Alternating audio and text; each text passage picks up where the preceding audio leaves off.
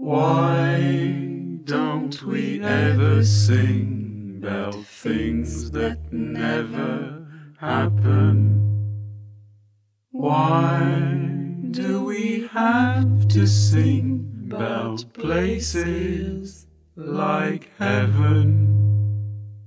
What if we did as if we never really listened?